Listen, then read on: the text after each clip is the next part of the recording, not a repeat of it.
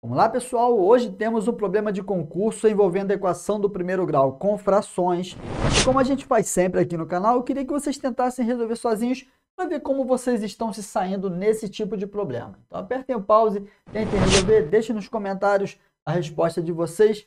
Eu vou mostrar a solução passo a passo agora. Vem comigo! Pessoal, faltam apenas dois dias para encerrar a promoção do mês dos pais que é 30% de desconto em todos os planos do meu curso, que é o Matemática do Zero para Concursos. No meu curso eu vou te mostrar que sim, é possível dominar a matemática de uma forma simples e fácil, ainda que você esteja na estaca zero, não saiba nada, mas vai fazer um concurso público que tem matemática, acha que já passou da idade, não vai aprender mais, tem filho pequeno, não tem tempo de estudar, esse curso foi feito para você. Ah, e aproveita que eu estou dando 15 dias de garantia, ou seja, você vai navegar durante 15 dias dentro do meu curso. Se caso você não gostar da minha metodologia, basta pedir o seu dinheiro de volta que a gente devolve, sem mimimi, e nossa amizade continua. Para você não ficar de fora, basta clicar em algum lugar aqui em Saiba Mais. Chega de papo, vamos para a resolução do problema? Aqui, ó. A diferença de dois números é 4 e o maior é 5 terços do menor. Qual é o maior? Presta atenção. Não sabemos qual é o maior, não sabemos qual é o menor.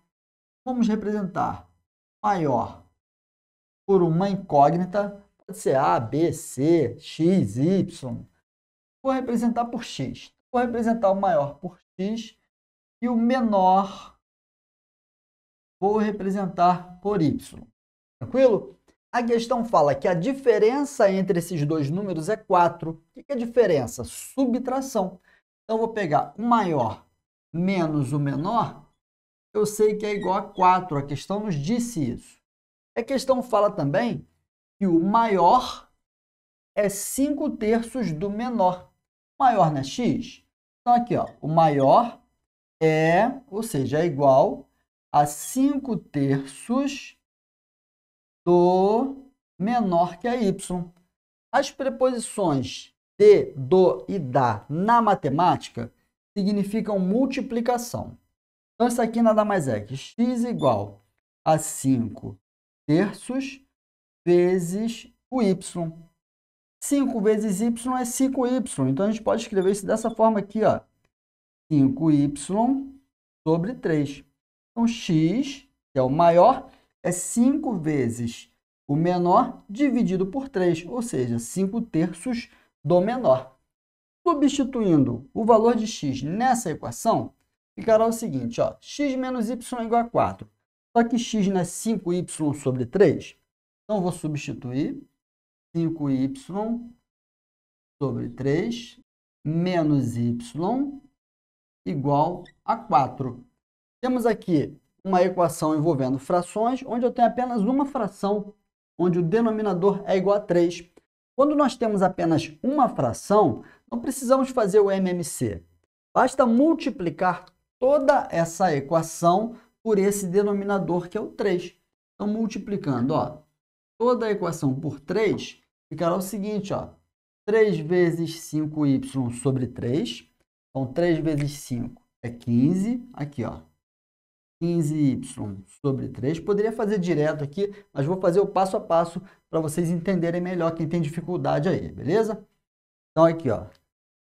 3 vezes menos y menos 3y. Isso é igual... Agora, o 3 vai multiplicar o 4. Eu tenho que multiplicar todo mundo por 3. Ó, 3 vezes 4 é igual a 12. O que, que aconteceu aqui? Ó? Presta atenção. 15y sobre 3, 15 dá para a gente dividir por 3. 15 dividido por 3 é igual a 5. Ó, 15 por 3 é 5. Então, ficará 5y menos 3y igual a 12. Por que, que eu falei aqui que vou fazer o passo a passo? Porque poderia fazer direto. Ó. Quando eu faço isso aqui, ó, 3 vezes 5y sobre 3, 3 vezes 5 é 15. 15 dividido por 3 igual a 5 poderia fazer direto aqui também. Mas eu fiz o passo a passo aqui para vocês entenderem. Valeu? Então, continuando aqui, ó, 5y menos 3y igual a 2y. Então, 2y vai ser igual a 12. Esse 2 aqui, ó, está multiplicando, a gente passa para baixo, dividindo. Né? Operação inversa da multiplicação é divisão. Então, y é igual a 12 dividido por 2. Concluímos que y é igual a 6. Se y é igual a 6, você tem que ter muito cuidado, porque tem essa opção aqui, a letra B. Ó. Cuidado, volta na questão. Olha o que a questão está pedindo. Ó. Qual é o maior? y é igual a 6. Olha aqui, ó, quem é y? Ó. y é o menor. Nós, temos, nós queremos o valor de x. A gente sabe que x menos y é 4. Sabemos o valor de y. Vamos substituir nessa equação. Aqui, ó x menos y não é igual a 4? Se y é igual a 6, ó, x menos 6 é igual a 4. Dá até para fazer de cabeça aqui, né? Qual número menos 6 é igual a 4? 10, não é isso? Mas resolvendo a equação, ó, pego menos 6, passo para o outro lado da igualdade com a operação inversa, que é a soma. Subtraindo, vai passar somando. 4 mais 6, concluímos que x é igual a 10. Agora sim, ó, encontramos o valor de x, que é o que a questão estava pedindo. Qual é o maior? Representamos o maior por x. Então, o maior é igual a 10. Quem marcou aqui a letra D, gabaritou a questão. Show de bola? Se quiserem tirar um print da resolução, ó, já chegamos ao final de mais uma explicação. Se você gostou, deixa aquele like no vídeo para ajudar o canal do Professor Robson. Você que ainda não se inscreveu no canal, quero te convidar a se inscrever. Não esqueça de compartilhar com os amigos de vocês nas redes sociais para ajudar o canal do Professor Robson a crescer. Valeu? Um grande abraço do professor Robson. Espero vocês na próxima aula.